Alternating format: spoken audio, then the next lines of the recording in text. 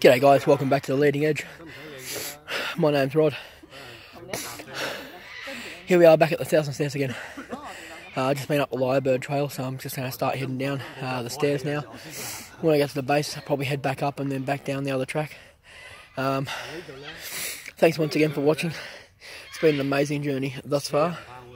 Um, as I said earlier in my uh, last video, I'm back out at Moorabbin on uh, Wednesday.